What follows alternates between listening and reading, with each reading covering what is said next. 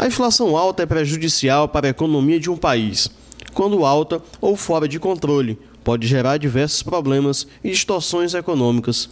O Brasil passa por esse desequilíbrio econômico desde o ano passado. Especialistas alertam que são vários os fatores que causam esta crise. Dentre eles, o aumento dos itens públicos. O que influ influenciou eh, no ano passado muito a inflação foi os, foram os preços, principalmente dos itens públicos, né? É, energia, combustível, é, comunicação. Por quê? porque eles são é, variáveis endógenas, nós chamamos na economia, que elas estão participam dos custos né, em todo o processo de produção.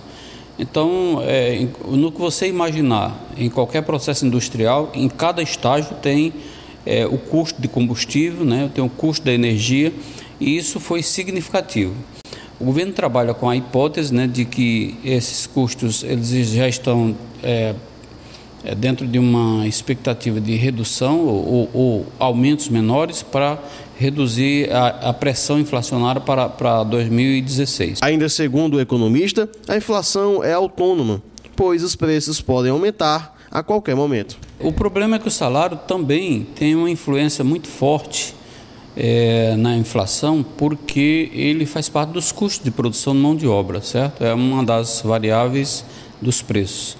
Então, quando o salário aumenta, todas as, as planilhas de custos são alteradas.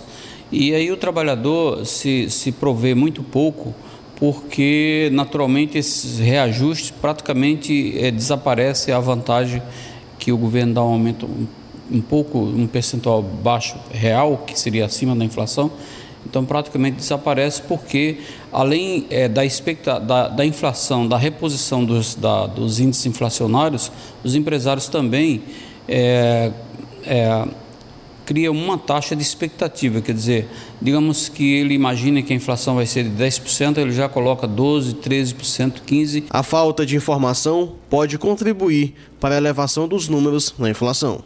E muitas vezes a desinformação também ela, ela, ela contribui.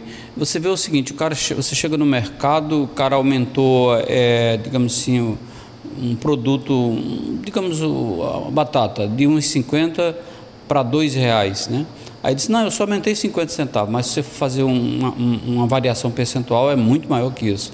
O cara aumentou, é, digamos assim, 50 centavos, ele aumentou para 100 para um real. Ele disse, não, eu só aumentei 50 centavos, mas ele aumentou 50%.